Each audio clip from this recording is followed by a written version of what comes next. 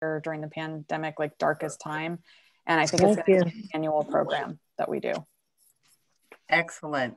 Um, congratulations. So glad that uh, we could support that effort. Um, and we hope to be able to support all of the efforts of all of our main streets and because you guys are doing fantastic work throughout and we are continuing to uh, figure out ways to uh, support your Main Street programs.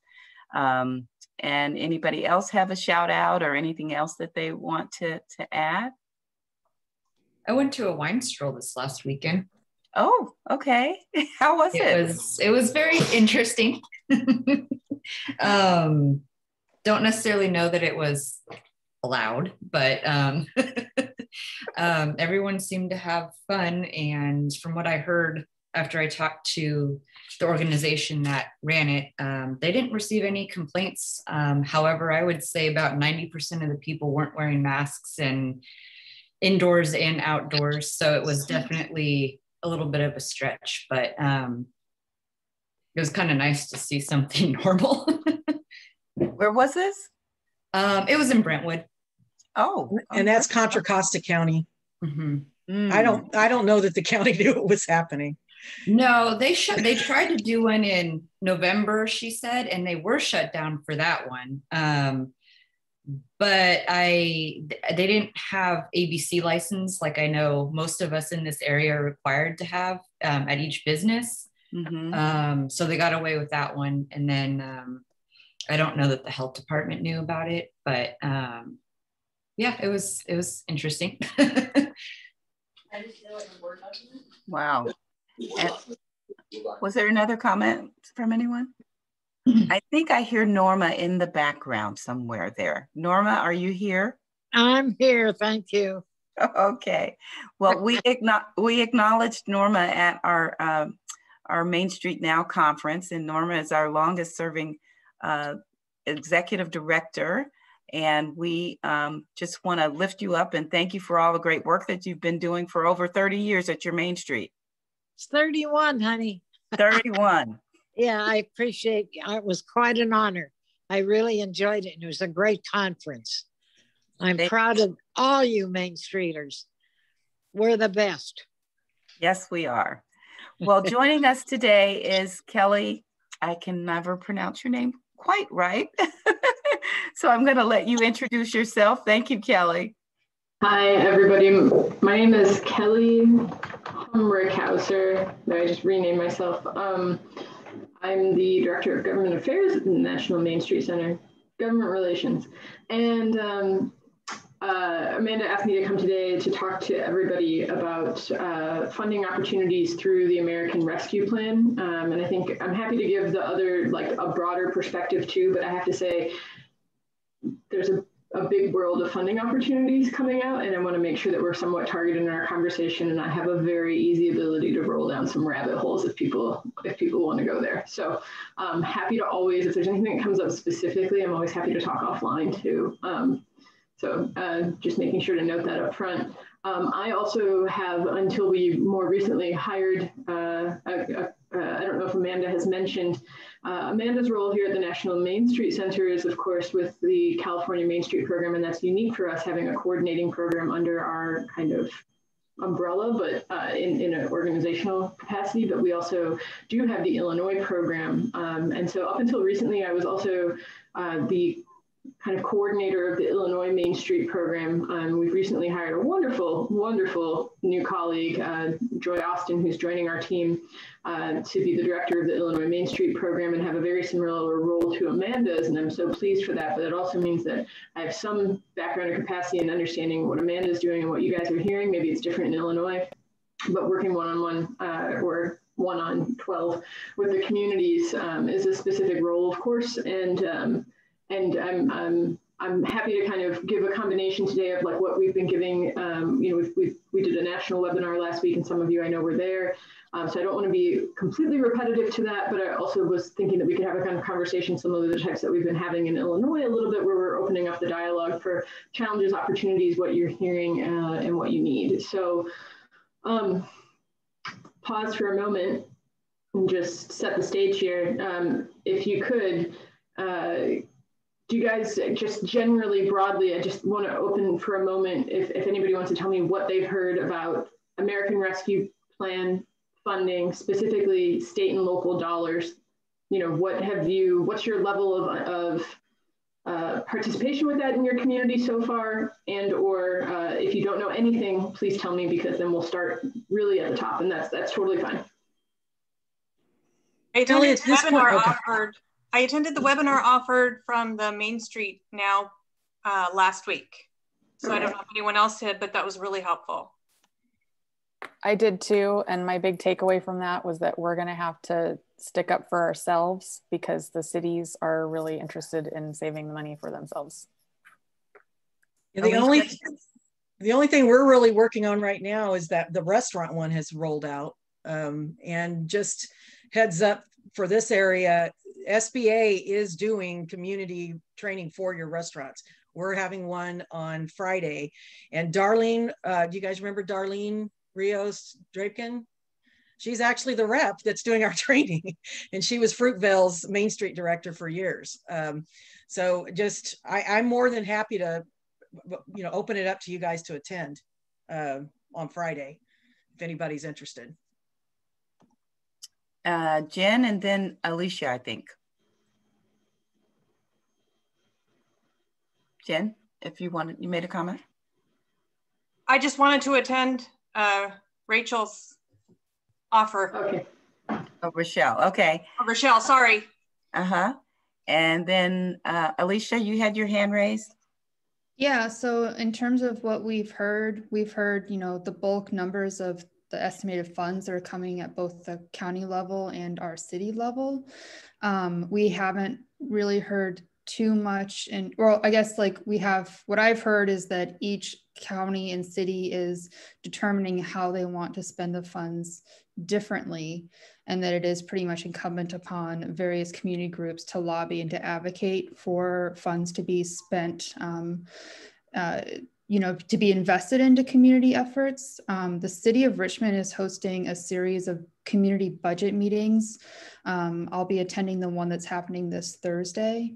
Um, I haven't heard very much from the county level in terms of like a formal structure that they might be setting up, maybe like they might have done with the CARES Act funds.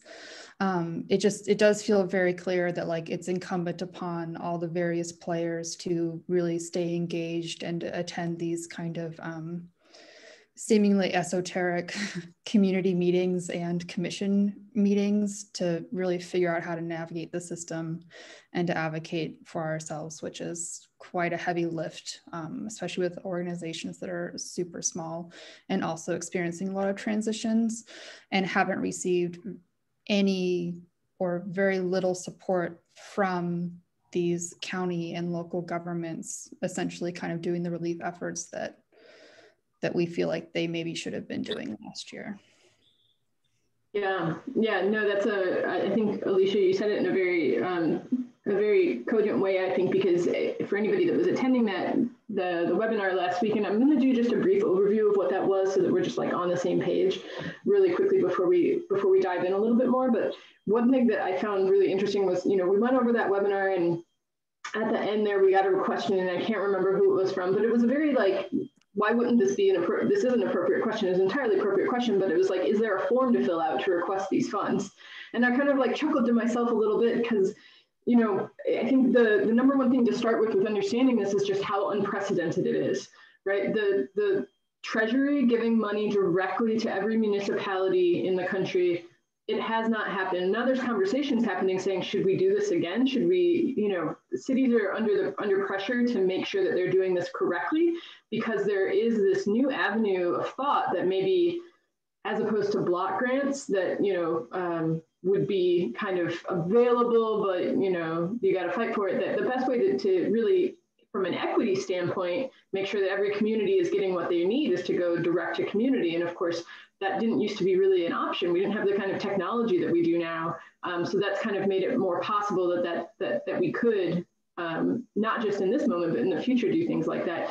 Um, but then it does give a lot of authority to the cities, right? A ton of, of discretion around how they're going to do that locally. So, you know, um, I'm actually really interested to hear that Alicia said that they have those hearings, those open community meetings around budget, um, and hopefully that that's something that can uh, be replicated in other communities because I'm not I'm not hearing that everywhere. But um, okay, does everybody want to start at the top real quick? We'll do just an overview, just make sure that we're all on the same page.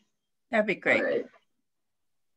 Okay, so this is this is if you attended last week's webinar, this is going to be pretty similar. So I apologize, but we'll do uh, quick to just make sure everybody has the, the opportunity to uh, participate in the same way.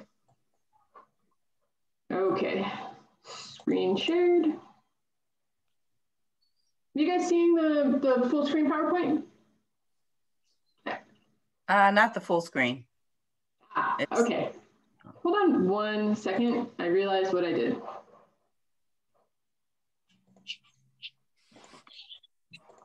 Okay. Here we are. Okay. So um, I might spend more, a little bit more time here than I did on, on last week's webinar for anybody that attended, just to make sure that we're kind of capturing some of these other programs that are part of ARP2. But again, as I said off top, I don't want to go down too many rabbit holes so that we stay focused, but this $1.9 trillion package, it's way more than just $350 billion that's going to state counties and cities. It's a lot of things. One of those things is an extension of the PPP program. It's now set to expire on 531. I've, I've you know, honestly, um, I've, I've now seen some new forms of uh, forms of advocacy to say, you know, we could extend PPP further. We could dole out more more loans like that. But what businesses really need is just grants, right? And I think that that's two things, right? It's one that's been a conversation all along, right? Shouldn't there just be a grant pool for for businesses as part of this federal funding? I doubt. I doubt highly that that will happen, um, but uh, it does also put the pressure, I think, on uh, cities and states to figure out could they be doing something like that with their funding that they have. Um, through through through ARP. A lot of people are thinking that. Uh, uh, I think that the, the small business uh, scenario right now, we've seen there's now some specific funding for shuttered, venue operators. So if you are working with anybody who's a, a movie theater, a, a event or performance space, I think that you know those grant programs are now out. That got a rough start, but it's now uh, launched and out there um, restaurant revitalization fund, as uh, Rochelle mentioned, that is that is out there as of Monday. They started accepting applications. The, the other thing that I'm very uh, interested in, I think, is going actually kind of well with that program is that if you're a restaurant um, that has a pre-existing relationship with something like Square, there's a few different businesses where they've they've actually partnered with those those kind of operators of uh, platforms to allow for the application to be streamlined. So of course, if you're on Square and you have all of your uh, receipts backlogged there for the past year, a lot of your business information is already saved there. And so SBA is working directly with a few of those providers, and I'm gonna, I'm not gonna be able to remember all of them off the top of my head. Uh, it's Square, it's no, I'm very bad. Um, so, but but there is an opportunity for some businesses to work if they already are using a platform for some restaurants to go ahead and, and just file through that platform, fill out the application there. That means that they don't actually have to create a profile on the SBA site, and it means that they uh, will have some of that pre-filled for them. Um, so that is one option. We're very, we've been very um, focused on in terms of resources. I, there's lots of different ways to get resources out there. I think the SBA is, is, is doing a really good job in comparison to how they got shuttered venues off the ground, shuttered venue operators off the ground. I think that with restaurant revitalization funds, they've taken a, a bit of a stronger hold. I've seen so many different programs out there in Illinois. There's been, you know, one-on-one -on -one type of uh, counseling as well. And then, uh, you know, lots of lots of webinars with getting people uh, complete with the application. So literally you could, you could probably find one at almost any time, right? To to um, have a have a restaurant join into, or there's recordings online. Um, but I think the other uh, thing to, to note here is that when initially I, I've, i saw estimates that said that this program was going to be oversubscribed within the first day. Now, they haven't said anything to that extent yet, right? But there's only, uh, I, I, know, only 28.6 billion dollars here, but that, that's gonna that's gonna go, and there's conversations that that could be uh, refunded, um, re reallocated. Um, thank you, Alicia, for putting in the POS partners. um, and then the Community Navigators Program, SBA just released slightly more information on this, but I, I it's not very much more information. This is a $100 million program that is for organizations that are helping businesses access other, P, uh, other SBA programs. So if, if you have been helping businesses access PPP, EIDL, shuttered venues, Restaurant Revitalization Fund, hey, you might be somebody that qualifies to be funded through this program, but they haven't put a NOFO out yet, a, a notice of funding um, or an application process. And so this $100 million was kind of like, yeah, there's this new program, it's going to be uh, implemented, and we're going to work with places like SBDCs and women's and minority development centers. But I think the I think the goal is to extend the reach of those types of organizations, and there has to be other entities involved there, so it can fund nonprofits that are doing this type of work. That means that it's possible that you could you could apply. It's what we're unclear of yet is what um, does it have to be the entity on the ground, and where does the application process move? What is the structure of this program? Um, the, uh, the language is very clear that it's about helping businesses both in rural and uh, underserved or minority areas connect to resources. So this can be about, um, you know, providing translations, uh, getting people access to accounting and other services. This is uh, really about making sure that businesses have the, the technical assistance. So it's like the four points, but only under the EV point, only under the point about specifically helping businesses uh, get access to these programs, but you're doing that, right? So um, we're looking to that and continuing to look to that. And um, the actual model that they're using, Community Navigator, is really interesting. It, it's uh, a model that was, um, it's been it's been around for a little while, but it's really about using um, like a spoken wheel, right? So, you know, there's the ability to at the community level say, okay, we're going to get these resources out by, by pushing them out through people who are connecting to these different entities. You are one of those connectors, right? So if you're connecting to all those different businesses, it, it seems like it's directly uh, for us, but we're, we're not, we don't have all the information yet. Um, the State Small Business Credit Initiative is a program that will uh, basically help fund entrepreneurship through the states, um, and it's been re-upped from from its previous kind of uh, operational. Like it, it, ended in 2017, I think. Um, so they're they're kind of re-upping this, and it could offer us more more um, funding for for entrepreneurship initiatives, and and um, we could do a separate program on that. Maybe Main Street will do. The leading organization on that is uh, really um, uh, community development finance um, folks.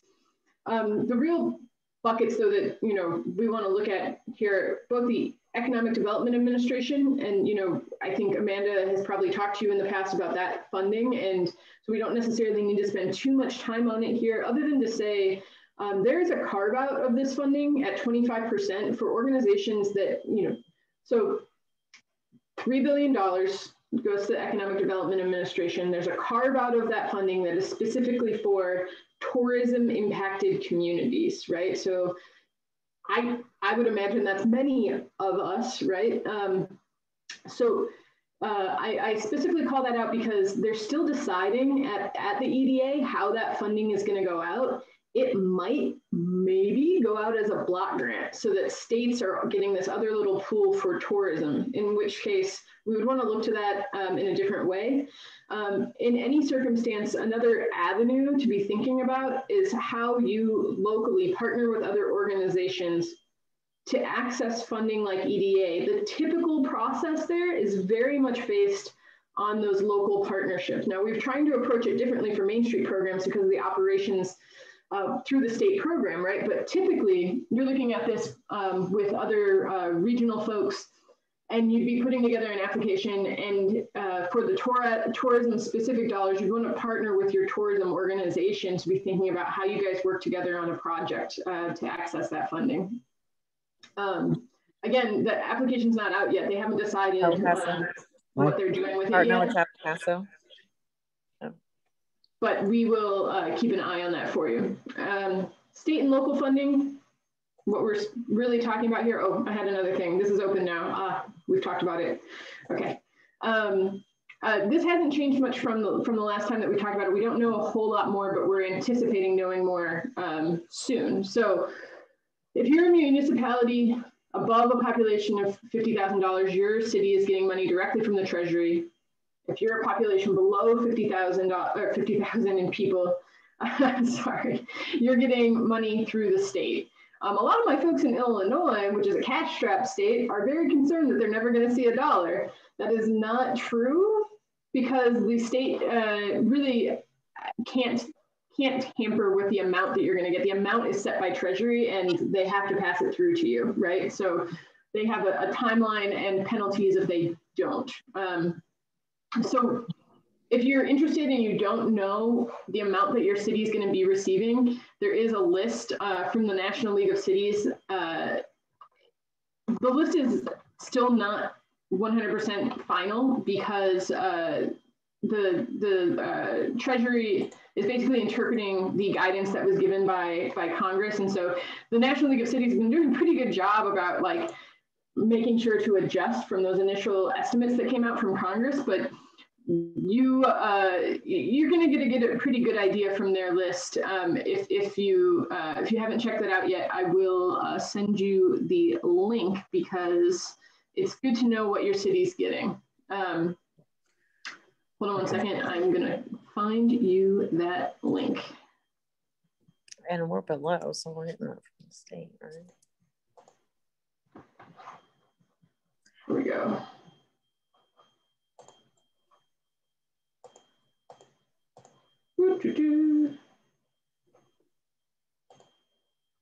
Okay.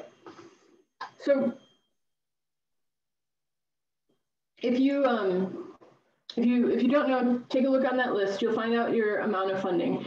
Now, NLC, the National League of Cities, would would tell you some cities are getting so much more than they need. Right? Some cities maybe they have pandemic losses that they can calculate and say, and I'm not saying more than they need from a perspective of like cities need money, right? Cities need a lot of money. I'm not saying that from the perspective of like every covering everything they need, just in terms of pandemic direct impact, right?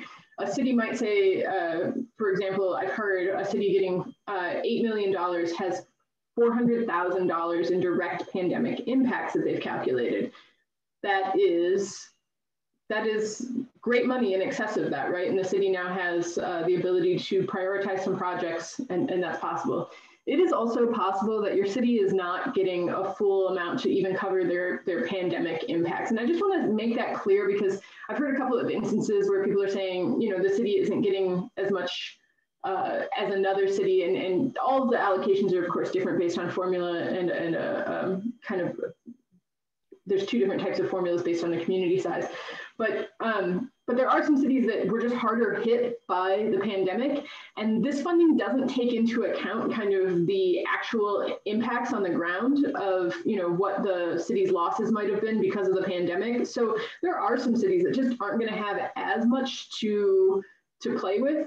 And when I say play with, I mean for for things that weren't about direct pandemic impacts, right? Um, so it's kind of difficult to assess that for your own city, right? I mean, you have to kind of be in conversation with them to understand what amount are they actually looking at for this for this funding that might be available to other entities. And and and that's that's very nuanced. I would say you know it's something to just be aware of but um, it, some some cities are going to give feedback to external groups that says that they don't have as much as they as as others and, and it's possible that that's partly true um, so just to reset on the funding too, your funding is going to come in two, two tranches. So the first is going to come within the next, it could come as early as next week for some cities. Um, that's the 60 day mark. And that was what was in the legislation as that is when it needs to start rolling from treasury. It's very possible that, that doesn't happen because rarely do things happen as they're supposed to.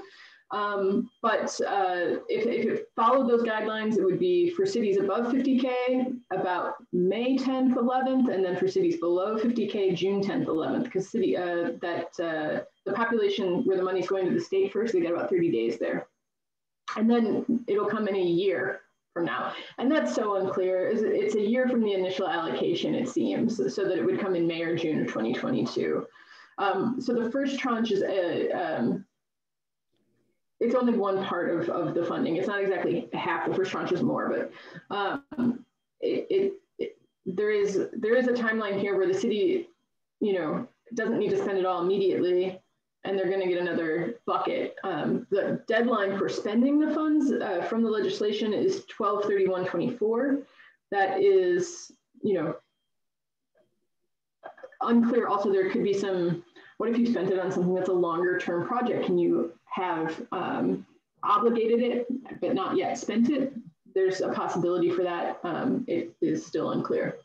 So uh, we don't know yet what the exact amounts will be. We don't know about some restrictions on uses. There's a lot of questions, particularly around the infrastructure uses of this funding. Don't necessarily know the reporting requirements other than there's two sides of this coin. Of course, um, cities are going to be concerned to do their best job possible with this um, as it represents the opportunity that more funding might flow in this manner. Um, and there, of course, will be reporting requirements, but there's also 19,000 cities getting funding out of this, and how much can Treasury really, really track uh, what they're all doing? So, um, some folks are, um, uh, you know, concerned that there might not be appropriate reporting here. Um, and then again, the question of is there a possibility to obligate funds without having spent them? Um, and just to highlight here, there are four uses of funds outlined in the legislation. Recovering from COVID-19 economic impacts, revenue replacement. So if the city lost money, the city can replace that money with this money. Premium pay to essential workers, which I think does have an implication for us, particularly when we're I, I don't know about you guys, but I'm seeing workforce development issues out the wazoo. People cannot hire for businesses to get just, you know, things open for the summer. Um, there, there is a possibility here of, um, of paying what's designated as an essential worker in your state. So it's your governor's designation of an essential worker, paying that person uh, essentially overtime um, with, with this funding and, and even a back pay for that. Um, Bettina has her hand raised. Bettina, oh, did yeah, you have sure. a question directly? Yeah, thank you. Um, I'm wondering if the revenue replacement can be for parking services, say if a city through their parking enterprise fund um, had free parking for, for COVID, or is our enterprise is not part of that? Um, no, it should because, um, well, I guess I don't know how, exactly how it's structured, but the one, they could pass through to a, a as you'll see on the other side, the ability, the ability to transfer if there's a special unit per, uh, unit special purpose unit of government, or if it's part of, uh, uh, uh, I guess I don't know how the enterprise is really structured, but I think it's possible for sure. Okay. Um, Thank you. Unless it's a for-profit entity. No, I think it's just that the for our city at least in San Luis Obispo, the parking enterprise is a an enterprise, not a part of the general fund. So yeah, they have I, their I, bonds separate. There hasn't been full clear information yet on kind of that from the budget perspective of the city, right? And I, I don't think that there would be any restriction on that. Um, okay. I couldn't imagine that there would be. Um, I think that would be a pretty applicable use. Okay, thank you. Yeah. Um, uh, the other thing uh, to note, um, just in terms of some of these questions, right, like uh, infrastructure, water, sewer, broadband, the actual legislation says water, sewer, or broadband, which made a lot of people concerned that we couldn't do multiple of those things, right? Like you could only pick one that you were going to do. Like people really need some interpretation just to make sure that this is all clear and what exactly type of water projects would, would qualify. There's um, there's just a lack of clarity there. So um, I, I, think um, to just continuing on the, the, ability to transfer um, the you, what's most important I want to highlight is that you know if your budget has been impacted if you're a nonprofit organization they can spend money and send money to you because you are a private nonprofit. That seems pretty clear from the legislation right? That if you're um, demonstrating a need from COVID economic impacts or planning for recovery from COVID economic impacts, that that would be an appropriate use of this funding. Um, uh, these other types, I mean, there there is the possibility that someone would be working kind of with a special unit of government. Um, they can pass to a state government. Somebody asked me if they could pass to a county government. It's just not in the legislation. It's very possible that it could come out with guidance that would say differently. I don't know why a city would want to pass to a county when counties are also getting a boon. Um, the guidance here is the guidance right now from the legislation, full stop. So this is also true for the state. This is also true for the county. Um, this isn't just for the cities. I think we're mostly focused on our cities, but it depends on your relationship with your counties, right? Like their counties aren't going to know exactly what to do with this funding either. But the general guidance that we've also heard um, while we're waiting for um, more guidance here, and I'm super like, I don't want to say, I, you know, I, I, want, I don't want to be wrong, right? Like that you could use it for something. But I'm, I'm not talking. Hi, Carolyn. Hi, CJ. Huh? Hey. Yeah, everybody, could you mute yourself if you're not asking a question? Thanks. Um, but uh, I, I don't, I, I don't, um, uh, if you did it, the, what I've heard from NLC is if you did it with the CARES Act funding, you could do it with this funding. So I think that provides uh, a very, like that's not necessarily firm, but it is, um, but they anticipate that it would not be more restrictive. And so a lot of people did a lot of things with CARES Act funding. Um, so that they, that would all be applicable uses uh, potentially of this funding. Um, so uh, there, there is some more guidance coming down. Hopefully it'll be coming very soon. Your city is probably preparing for this. They're probably hearing from folks about this. Um, and they are probably uh, uh already talking internally, if they haven't made it public at all yet, they're already talking internally about what they're going to do with this money that comes. Um, so I just want to make sure that we're kind of focused on that guidance being being addressed to cities um, and uh, and and how Main Street fits into this um, because I think you know the guidance that, that that entities give to cities is I mean it, it doesn't doesn't mean a whole lot. You know, cities can do whatever they please at the end of the day, based but based on forthcoming regs. But the um, the guidance about how they should approach this that they that they might be seeing it would tell them to you know assess government and community needs, like understand what their direct impacts are. But I think that Main Street programs have the particular ability to be helpful with the assessment of community needs, if they are all interested in what's going on with their small businesses, have you surveyed lately? Do you have an understanding of what's happening on the ground in your community that you can prepare and share? Like, how can you make sure that Main Street's voice is, is included in, in any assessment that the local government might be needing, but might be um, seeking so that they can prioritize funding? um, you know, we all, um, I think at a certain point this past year, everybody was just surveyed out, right? Um, nobody wanted to talk about it anymore. But if you want to make the case to your city that there is uh, an existing and ongoing need for your downtown entities, whether that's small businesses or property owners, it could be a very good time to just do a quick a quick check-in um, and make sure that you are um, making sure to represent that voice to the city. Um, the second bullet is to use revenue sources strategically. And I, I, think, you know, we're focused very much on this ARP funding, but the, the goal that cities are, are hearing is that, you know, this shouldn't, this shouldn't be the only bucket they're looking at, right? So of course, you know, if you're going to make the case, if you're going to make the case to your city that your businesses need X or your restaurants also need X, they're going to want to know that everybody has tried the other avenues, right? So did your did your businesses apply for PPP? I'm sure at this point you have a pretty good sense of whether or not that's happened.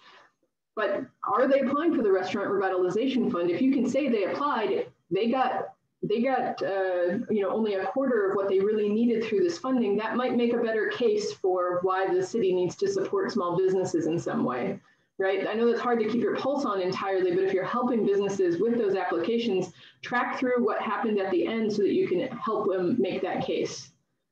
Um, uh, the priority for fiscal stability and returning to work, I don't think that's a, um, you know, a surprise, right? So the cities would be looking to make sure that they're fiscally stable, right? So um, that's a that's a great goal. And then returning to work also, I think that has other um, implications for our um, you know, what city might, cities might be think, thinking that they need to spend on in terms of getting whether it's teachers back in the classroom or you know some essential services back going um, if anything like that uh, is an impact they might be looking there first rochelle has her hand raised rochelle oh, sorry go ahead uh, thanks, Amanda. I, the reason I did it twice is I used the wrong hand. Um, so I now I have the hand up. So just backing up real quick, Kelly, this is great. And you were mentioning um, the survey to your businesses. We just did that because we are starting our recovery plan. And um, we actually even had, you know, have them state which assistance programs did you apply for. And that spoke volumes. Uh, we also, you know, what kind of help do you need? It came out with marketing, social media training. So if anybody needs that, that's another thing I can send you our survey monkey to see what kind of questions we were asking. Kept it quick and simple. Uh, yeah, I'll send it because it, it did it's it's going to be used really well in tandem with this when we're talking to the city because we know what we need money for. Yeah, send it to to all of us, uh, Rochelle. You okay. can send it to me, and I can distribute it to everyone. Got it. Perfect. Great, great. I just want to make sure um, I'm collecting as much as possible. So I encourage you, um, any of you, if you have like a good example, like send it on over. Like we we can only share, you know, out what we what we know is happening in other communities, and we, we depend on you for for um, sharing with us sometimes.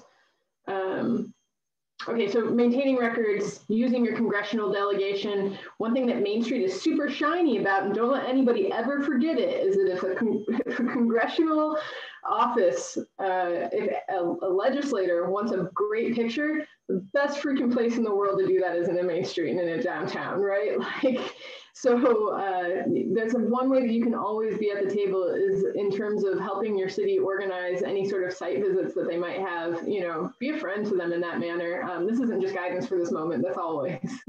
um,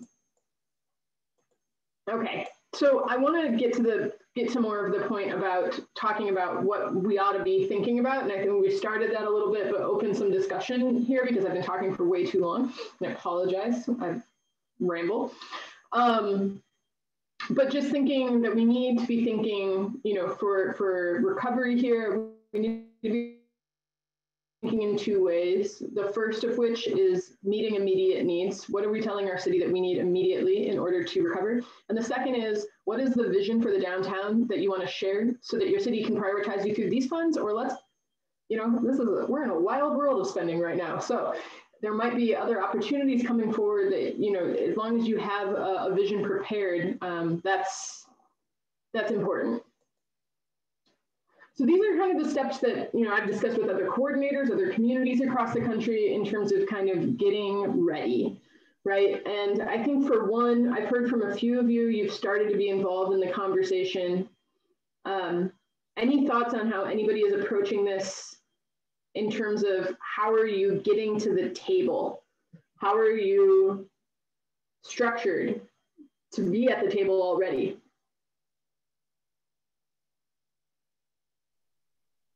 So I, I heard from Alicia that they she's attending a, a city meeting. Are others already set up to um, kind of lobby or or engage with uh, city government or state? I met. with, what's going on? I met with our local economic development manager, and uh, regarding requesting for funding is one of our priorities, and uh, Rick and I will probably get together to see how we can create a itemized list of things where we can help our budget. You know, one of them issues is the back rent on our building, uh, which is huge, and then also is uh, our overhead. It's uh, it's you know fixed costs that we we need to also put that in mind. But we're working with our local economic development manager. Thanks, Gamaro, and then Michelle. Yeah, I you know again, it's it's kind of like thank God we already had things in place before COVID because the communication was already good to go. And um, so it's things like if you don't already have it officially, have basically a liaison on council that's your go-to for your downtown. And as kelly mentioned they love that because they get all the attention. They get the ribbon cuttings at the events. They get you know like look what i did.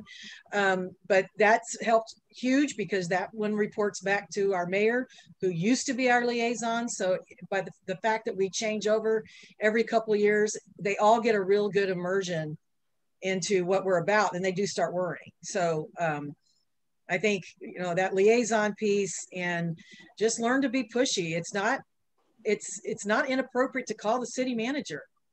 It's not inappropriate to call the mayor. Um, and just be careful which businesses you bring with you uh, on those because sometimes that takes it off track of this is for everybody. We care about everybody. We're not just a restaurant organization. We're not just you know that's gimme gimme or whatever so uh, but i think just getting those conversations going and getting your bigger thinkers uh, with you on the team yeah I, I that's that's entirely true and i think all of us in our cities know that we have people who have easier uh, an easier way to open some doors, right? And if they're participating in our organization, how can we activate them in this moment? Uh, Rick, did you want to add a comment? I, I just would say that um, the city seemed well. Number one, the city is in really good shape financially. They we have four WalMarts in the town. Our sales tax revenue is up. Property tax revenue is up. Of course, coastal Southern California beach beach town is property tax revenue is up, and so uh, we just passed uh, sales tax right before the the pandemic. So uh, the the city is pretty well off financially. Um, they seemed really super interested in asking for input on how to spend this $33 million at the beginning. And now they don't seem like they're uh, interested as much. And, you know, then we're hearing back, well, the money won't be coming until May. We don't know what the restrictions are.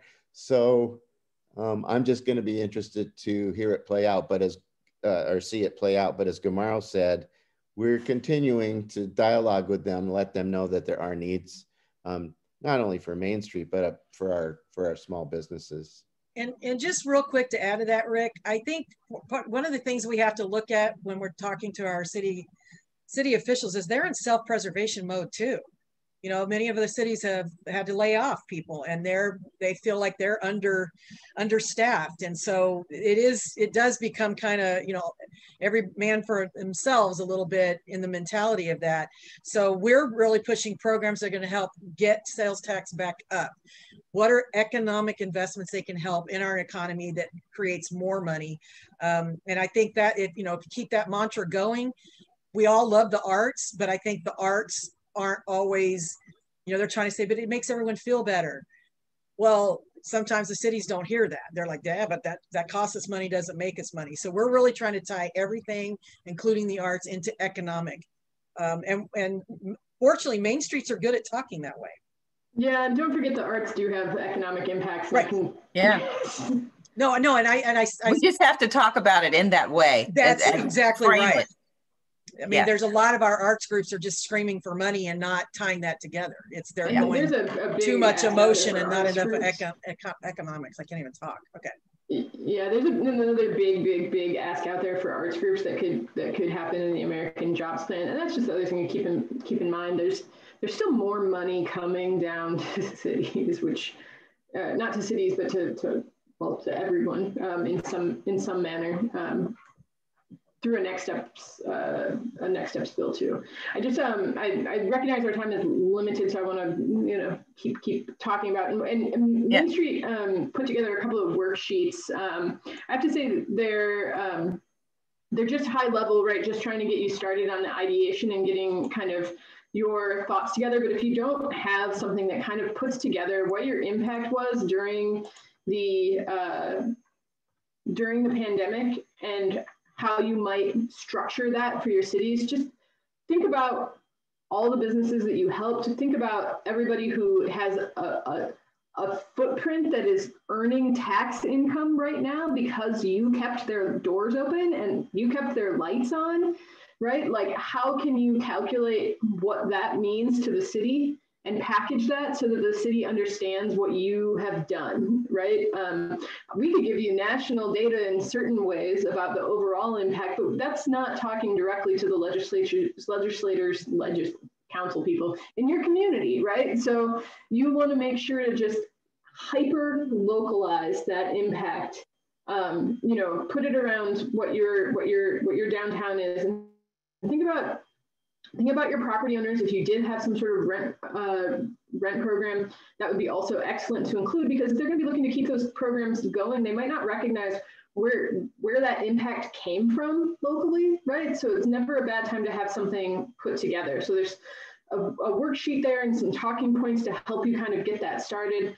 We recommend that you have something on hand. Maybe some of you have already done this put something together so that in the circumstance that you're asked or that you can get your way to that table if you're not already there, you have something to hand out. And finally, I just want to make sure that we're talking about as, as um, Rick was saying that they are first were interested in a little bit of his vision. I think there was a little bit of backtracking on the national kind of conversation about this because it was like, oh, this money's coming, get your project ideas together. And then folks began to be like, oh, wait a minute, there's going to be regs here what are we going to do, right? So um, there, there is a lot of hesitancy, I think, about saying more about it right now because we're still waiting on that guidance. Um, as soon as that guidance comes down, we're going to do another webinar. I'm, I'm, I'm penciling it in. Um, we haven't gotten any information about it out yet, which is I got a second shot of the vaccine and it knocked me on the ground for a couple of days. So, um, but we'll do it on Monday the 17th, hopeful that we're getting more, that the guidance is coming out prior to that and that we can um, do another national webinar that would get into that a little bit more because we think at that point we should be hopefully able to say more specifically what types of projects are going to be applicable under this. If there's things that aren't, get those off the docket a little bit. I do want to um, point to if, if anybody participated in that webinar last week, we did have a, a, a good conversational component with uh, Kim from Pigtown in Baltimore talking about what the Baltimore Main Streets have put together to ask to the city there. Now in Baltimore, there's uh, eight Main Street programs, so it's a little bit different than some of your programs locally. But just before this call, actually, I got her final product about what their budget looks like for some of these things, and I'm just going to quickly share it with you because I think it's uh, good to see what other folks are putting together for this, and there aren't super many examples that I've seen yet. So now, as Kim mentioned on that call, what they're the way that they're approaching this is to like exploit their relationship with Senator Van Hollen, who's you know on federal, federally. So they're going to just make sure that they are um, using as much as they can to leverage that relationship into making sure the city gives them some of this money, right? Great approach, right? You had somebody from a different level who was responsible for getting the funding in the first place coming in to say, this is how this funding ought to be spent locally. You have any relationship with anybody federal level, you, you know, even at state level never, never hurts, right? Having them sign on to what your ask is, is, is, is great. So um, they are making sure to include everyone on this. They've, they've pulled all the partners together. And what this is, is a list of the of the different ways that they want to help the business community and the commercial corridor. Um, so they are putting together a little bit of uh, the data here, you know, how much impact that they're having and just what this proposal is. It's very brief. It's not super in depth, but it gives a, a general idea. They're going to be asked for more information about this, I'm guessing, and provide more here. But um, but they're going to provide grant funds uh, for brick and mortar and facade improvements, um, business attraction money, uh, vacancy reduction um, to help with, with negligent property owners, um, emergency fair, uh, gap funding for businesses, event support for the corridors, program operations, streetscape. They're covering everything here. They didn't minimize their ask to one project or idea. This is how, and you know what? This is Main Street work, right? They're funding things that they would be doing anyway, right? The only thing that I'm not super seeing here is like, uh, uh, oh, program operations, great, because I want to make sure that they did that. Program operations, make sure to just fund your program if you can. Um, coordination for their city level staff, that's also good, of course. So for you, but that would be under program operations. Um, and then their budget, right? So I think relevant to us here, this is the per district budget in this area. So they're really asking for per district about a half a million dollars. Um, so if you if you feel that you know what level is appropriate for this ask, if we're getting there, I know we have like one minute left, so I'm sorry to be like over your time, but um, it, think about what the city is getting. Think about what your budget is. Think about it. Is 1% of what they're getting something that you could ask for, right? Uh, 1% of 33 million is a lot of money. You know, could you, do you have a plan for that amount of money? Could you make an ask for 1%, right? Um, is, is that, does that make sense, right? So, okay, that's that's great. Kelly, I love this. And I definitely, uh, please share it with me. I think this would be perfect for uh, us, the board, CAMSA board to come together and put together this kind of plan for California to ask. The ask would be really enormous uh, in terms of if we were trying to get, you know, um, I don't know, uh, $500,000 for, or $50,000 for each uh, community. So, um, yeah, but I think that's a, a, great start. And I did see that Bettina and was it Rochelle also still had their hand open? Their hand open, up, raised. Bettina? I had my hand up, but you. Oh, I'm sorry, Gamara. I missed no, you you actually said what I was going to say. So no, that's perfect. Thank okay. you, Amanda. Yeah, and I was just going to ask if you had a crystal ball, which I know you don't, but um, to sort of get a sense of whether you think it's worth shooting our shot now or waiting a little longer until there's some more clarity about what's going to be regulated? It's super easy for your city to say right now. You, you go and ask them right now, and they're going to say, well, there's not guidance yet, so we really can't say, and we're not prepared to say anything until there's guidance. So you want to start the conversation in terms of like, I would focus more on, on getting to the table if there's a recovery task force being being organized making sure that you have like a conversational kind of start. If you run into somebody at a coffee shop and say oh my god the city's getting so much money. Are you guys going to be okay? It sounds like you're going to be able to recover all of your losses. What are you going to do with all that extra money? You know be just you know weasel your way into the conversation a little bit however you want to get to that table. Um but but i would wait and just be like oh, he, the guidance came out. We're all ready. Here's our plan. You know what I mean? Um, because I, I, just think it's going to be really, really, really easy right now for somebody to push you back with a have to wait for guidance. So yeah. as much as you want to make that ask, the actual ask should probably come as soon as you can ensure that your plan fits into the guidance, but you want to lay the groundwork. Well, and this is a hyper specific question, but I, our city just went through a two year budget process. And so that's been going on at the same time. I think that they actually were estimating these funds as part of their budget process. So it might be difficult for us to decouple, oh, you're getting this money and we have a plan for it versus this entire two year financial plan that they've been proposing and working. Do you have access to those? Is it public? Yeah, I mean, and we've been working with them on it every step of the way. It's just okay. our requests sometimes get shaved off for other projects, you know. Right, right, right. I mean, in that circumstance, it just it sounds like they, as much as they've planned it in, there has to be a conversation somewhere where they where they are cognizant as well that there's not regs yet, and so any plans that they're making have to be a slightly uh, soft. I mean, I'm pretty sure they could say you know some pretty specific uses that they could acknowledge, but um, I think if you're if you're making a play in it, if, if if they've invited you into the budget process all along, they're going to say, oh you've had the opportunity to ask kind of all along for this, right? So if you want to have like a specific vision about it, I would try to cast it out a little bit further and say, you know, our goal is immediately to stabilize and then tranche two, if that's not planned in yet, what can we go for there when that comes around next year? I know that might not sound like super, but they might give you the feedback that like, oh, you've been at the table for this, you should have, you know what I mean? You know, on top of that too, I think we need to be aware, you know, since we're in emergency situation with COVID, many of our uh, city managers are now considered the emergency coordinator. And when once they designate that their city is in an emergency situation, some of the rules of engagement with community, some of the uh, you know transparency rules and laws go out the window. So they don't have to follow as much input from community. So that's why I do think Bettina, get in there now, because I have no doubt my city manager is behind a closed door already coming up, coming up with this. So we we're not going to wait and just, you know, like I know how much you're getting, buddy. You know what what what are we looking at? So we may have to force more community engagement than they feel they have to do in an emergency situation. Yeah, I've heard that in some other places too. Just um, just not not necessarily under the scope that you gave with the emergency thought process, but that the that the city is having the conversations. They know the conversations are happening, but they're happening behind a closed door, and that's not going to be just an issue for your group, since other groups are thinking about this too.